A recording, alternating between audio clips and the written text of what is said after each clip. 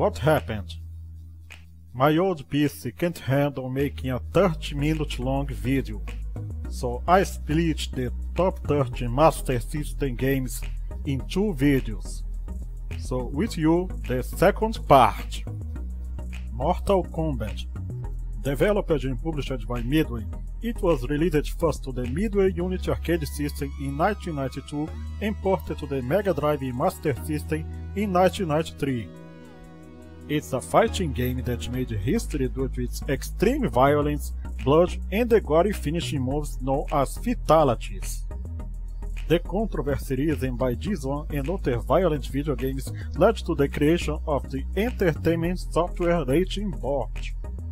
The Master System version was developed by Probe Software and published by Arena Entertainment. Like the Mega Drive version, it has the blood unlocked by a code, but the similarities end here. Due to the technical limitations of the Master System, this port lacks the voiceovers and has a roster of 6 playable characters. Kano and Reptile are absent. Ninja Gaiden Developed and published by Tecmo, it was released first to the arcade in 1988 and ported to the Master System in 1992. The Master System version was licensed from Tecmo and developed by Soft Development Innovation Multi-Success, being published by Sega. It's a side-scrolling hack-and-slash beat-em-up action game. You assume the role of Ryu Hayabusa, a member of the ninja clan of the Dragon who finds out his home was destroyed and all members of his clan were slaughtered. The last member of his clan, in his final breath, tells him that the Bushido, a sacred scroll whose ninjutsus are so powerful that they can destroy the world if it falls on the wrong hands, was stolen. Ryu then begins a mission to retrieve the Bushido from the evil Shogun of Darkness and avenge his clan. The gameplay is very different from the NES version. Instead of climbing the walls, you can jump from wall to wall and hang on platforms to reach higher places. The difficulty is well balanced and is the same trial and error of games from the 8-bit era. The story is radically different of the NES version as it is of the arcade version. As good as this port is, Unfortunately, it was released in the very end of the life cycle of the Master System. So it ended as a footnote in the history of video games in contrast to the famous trilogy for the NES. But if you are a Sega kid, you should give it a try, it's worth. Olympic Gold Developed by Tiertex Design Studios and published by US Gold, it was released to Mega Drive, Master System and Game Gear in 1992. This is the official video game of the 1992 Summer Olympic Games hosted by Barcelona, Spain. It has 8 options of language English, French, German, Dutch, Spanish, Italian, Portuguese and Swedish. It also features 7 Olympic modalities 100 meter sprinting, hammer throw, pole vaulting, 200 meters freestyle swimming, 3 meter springboard diving, archery, and 110 meters hurdling. The game has 3 levels of difficulty Club, National and Olympic Olympic is the hardest, as you have to be very skilled to win at any modality. And Club is the easiest, recommended for beginners. Like California Games, this is a casual game without game over, and it's multiplayer as well. Paperboy Developed and published by Atari, it was released first to the Atari System 2 arcade board in 1985 imported to the Master System in 1990. The Master System version was developed by Tiertex and published by Tengen, a subsidiary of Atari. It's an action game where you play as a paperboy who delivers new papers at the homes in a suburban street at your bicycle. you must avoid dogs, bullies, manholes and other hazards, and deliver the papers at the houses of the subscribers, and also vandalize the houses of non-subscribers. That's right, it was Grand Theft Auto before Grand Theft Auto. The game has 7 stages, each one representing a day of the week, Monday through Sunday. Your score is determined by how many papers you succeed and fail to deliver at the subscriber's house each day. If you crash your bike 3 times, you'll fire your quit and it's game over. Phantasy Star Developed and published by Sega, it was released to the Master System in 1987 in Japan and 1988 in North America and Europe. It was brought to Brazil by Tectoy in 1991. It's a science fantasy role-playing game set in the fictional star system of Algol. You play as Alice Landale, a swordswoman whose quest is releasing Algol from the rule of the cruel dictator Lassic. Later in the game, Alice joins allies like the warrior Odin, the wizard Noah, and the cat-like creature Myau. The gameplay features now classic elements of RPGs such as random encounters, a party of two or more playable characters, and a leveling system based on experience points. Like other RPGs, it also has a save feature, but due to the limited memory of the ROM cartridge, you can save only one game at a time. If you start a new game and save, it will overwrite the previously saved game. Quest for the Shaven Yak, starring Ren Höek and Stimpy. Developed by Real Time Associates and published by Sega, it was released to Game Gear in 1993 and ported to Master System exclusively in Brazil in the same year.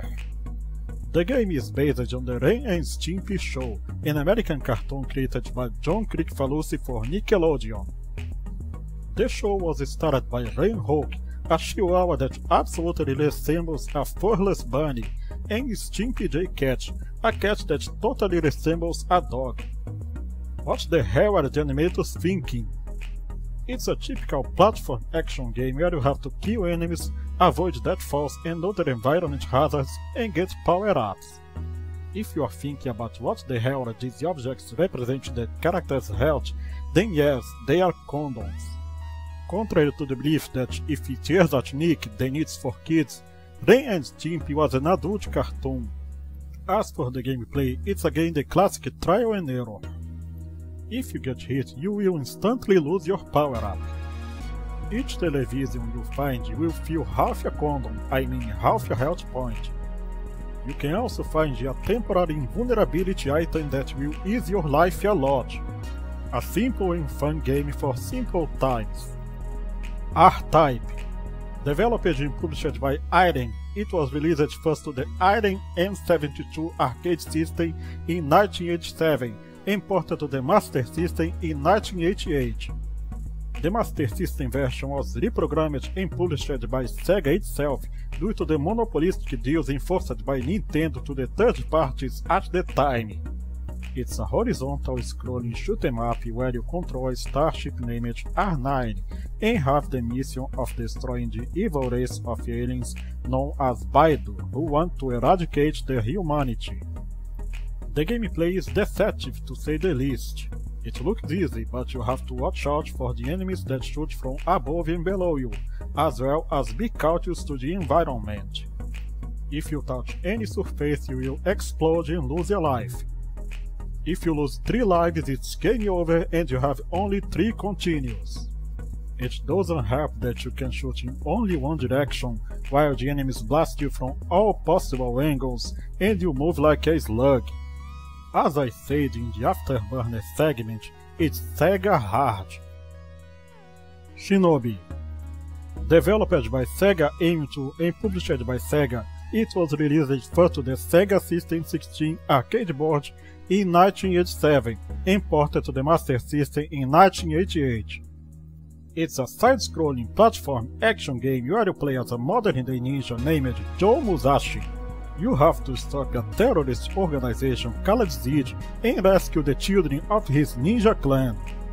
The Master System version differs from the arcade version by Musashi having a health bar, thus being able to take more hits before losing a life, in contrast to the one hit kill in the arcade. In the Master System, you don't have to rescue all the hostages to complete a stage.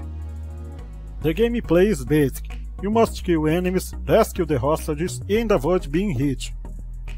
Easy until the boss fight. You have only 3 lives and when you run out of lives it's game over.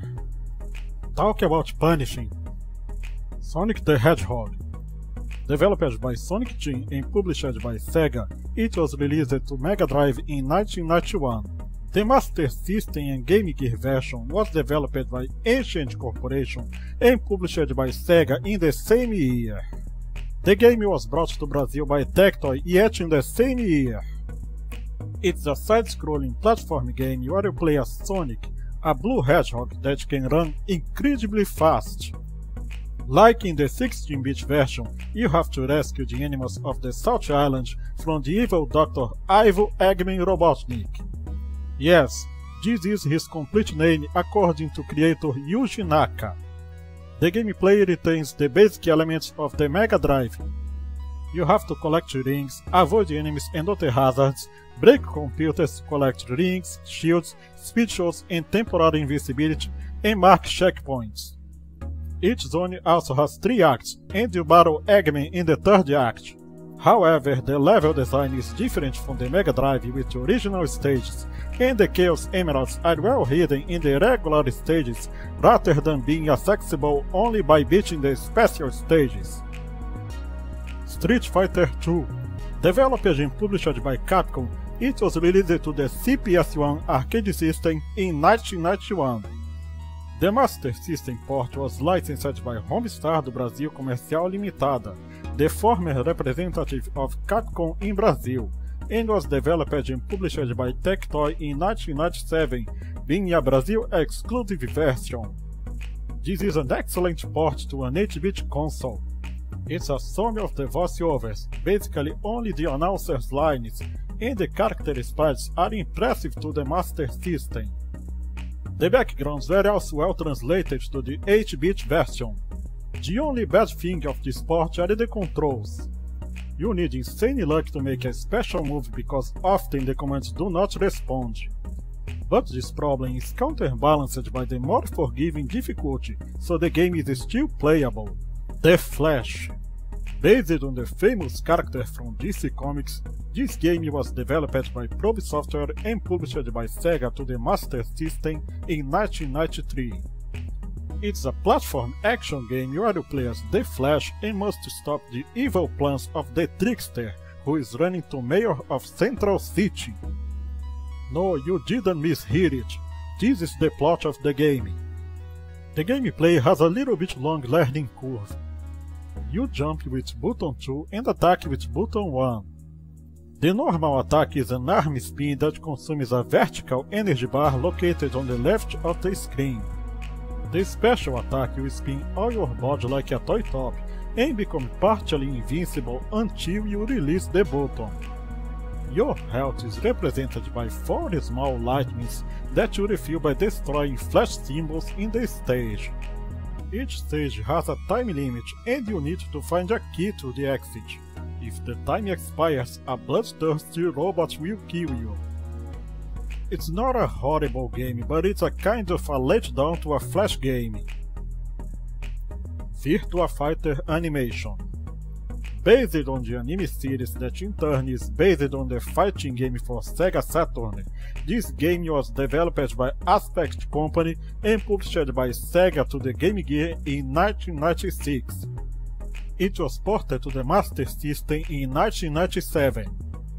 The Master System version was officially manufactured by Tectoy, being another Brazil exclusive title for the 8-bit console. It's a 2D fighting game with the same mechanics of the 32-bit counterpart. You can beat the enemy by knocking them out or by pushing them out of the ring. The difference is that you don't have a block button, only the punch and kick buttons. You have 7 playable characters Akira, Jackie, Kage, Sara, Pai, Wolf and Lau. There is also the non-playable character Dural, featured only in the story mode as the final opponent. It's a quick and fun game that makes justice to the Virtua Fighter brand. Where in the world is Carmen Sandiego? Developed and published by Brother Band, it was released for computers in 1985. The Master System port was released in 1988 under license of Parker Brothers.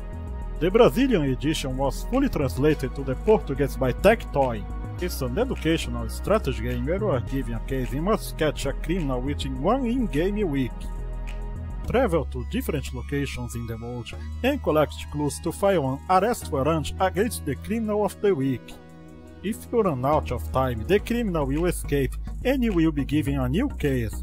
If you succeed to arrest all of Carmen's henchmen, you will be finally given the task to arrest Carmen Sandiego. And if you catch her, you will have you won the game. The true goal of the game is teaching children geography and history. Both as a game and as an educational program, Carmen Sandiego is pretty good. It doesn't punish the player with a game over so you can retry how many times you want. Wonder Boy Developed by Westone Bit Entertainment and published by Sega, it was released to the Sega System 1 arcade board in 1986 and ported to the Master System in 1987. It's a platform action game where you play as the caveman Tom Tom and have to rescue your girlfriend Tanya. Alright, this plot was done to death in the 8-bit era. The gameplay is simple, you have to kill enemies, jump over obstacles and avoid deathfalls. However, your health decreases with time, so you have to be fast and eat all fruits to keep you from starving to death. Not a wonderful game, but good enough to have spawned sequels. X-Men Mojo World Developed and published by Sega, this game was released to the Game Gear in 1996. It was ported to the Master System exclusively in Brazil in the same year. It's an action game where you can play as the X-Men characters Wolverine, Rogue, Gambit, Cyclops, Havok, and Charge. You can start as Rogue or Wolverine.